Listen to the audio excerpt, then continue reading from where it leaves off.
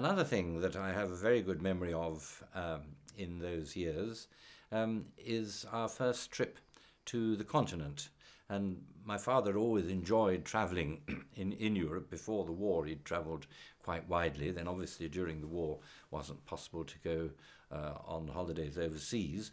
Um, but quite soon afterwards, he bought uh, a four-seater MG, which was a very uh, attractive car, and we set off. This was in 1949 when I was 12, uh, and we set off to the uh, the continent, and I remember seeing the Bayeux tapestry and lots of pleasant things in France. And then we went down to Italy, and remember we made a point of seeing lots of the works of uh, Michelangelo. We saw Leonardo's Last Supper in uh, Milan. Uh, and Pompeii was one of the high spots, Pompeii and Herculaneum, which of course have this marvelous atmosphere. And uh, the car broke down just north of Rome, and we had to get some repairs done.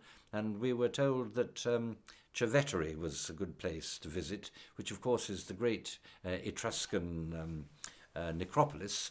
Uh, and uh, that was a really interesting experience to see all these open tombs. Of course, there is a, a fenced off area, but to see all these uh, open tombs, be able to sort of crawl into these rock cut chambers, which were still full of fragments of uh, pottery and so on, brought one very close to what seemed a remote and mysterious past.